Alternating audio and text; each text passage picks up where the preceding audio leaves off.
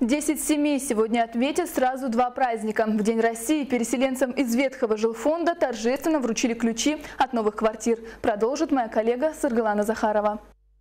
В эту новостройку по улице Якутская 2, дробь 17 в течение недели переедут еще 52 жителя. А сегодня для 10 семей День России стал особой датой. Днем России, с днем получения вами ключей от новых квартир. В этот день для вас э, начинается новая страница жизни. Заканчивается старый этап для жителей аварийных э, домов.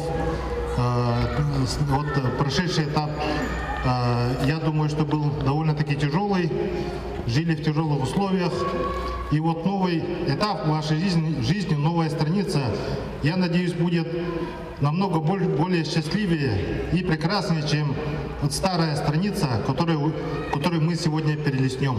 Для пары Бороновых новость о жилье стала приятной неожиданностью. Документы они подали несколько месяцев назад, а о том, что квартира для них уже готова, узнали только накануне. Эта семья особенная, оба супруга слабослышащие. Сегодня они впервые увидели новую квартиру. По традиции первой переступила порог кошка. Такой веткий дом был, около 10 лет жили, там холодно, все сыро было. Ну, сейчас мы, э, там много ремонта делали каждые 4 года, пол там все смыло водой. А сейчас мы так рады, такой хороший дом.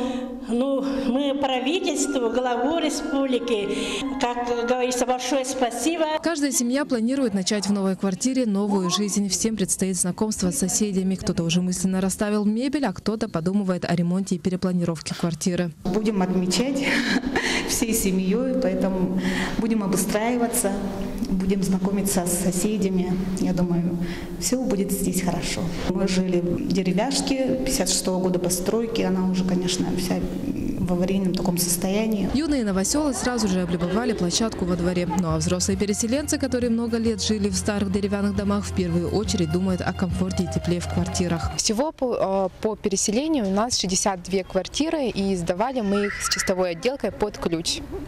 Отделка была тоже, э, было тех задания по аукциону, это линолеум, обои, полностью вся сантехника лоджии. Ключи еще от 140 квартир остальным переселенцам из аварийных домов вручат в преддверии национального праздника ИСЭХ. Сарглана Захарова, Юлия Великодная, Василий Слепцов, НВК Саха, Якутск.